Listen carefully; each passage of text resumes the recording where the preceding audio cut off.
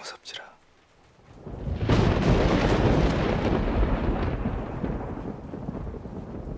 무섭긴 무엇이. 여하튼 요즘 이런 소문이 돌더라고. 그것을 누가 해준 얘긴데? 뱅뱅님. 아따 그 새끼 그 진짜 씨. 이제 너한테 가장 떠들어 쌌네. 이 근데요 이 소문을 들어본 게 그냥관이 무시 있긴 한갑지다. 무엇이? 저기 다리께 가게 준 실성했지라. 방앗간 하나씩 급사했지라. 엊그제 국이 그랬지라. 근데 싹 다 그 일본 양반이 오거나 생긴 일들 아니오.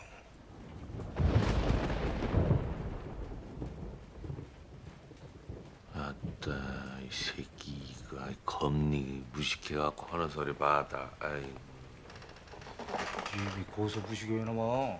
새끼야. 오늘 박흥국이 검사 결과 나왔지야 이 새끼야. 뭐 버섯을 잘못 근-. 무엇을 이 씨. 예?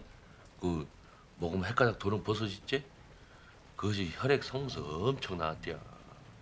그 집에서 듣고 말린 것이 검댕이 나와버렸고. 아니 성님 시방 그 말을 믿어요? 검사 결과가 나왔단 게? 아 성은 어릴 때 요상한 무슨 안 먹어봤는가? 안 먹어봤어 이 새끼야. 그거 처먹었다고 사람이 그리 되진 않으라. 갸꼬라지 봤잖소. 그것이 버섯 잘못 먹는 꼬라지요?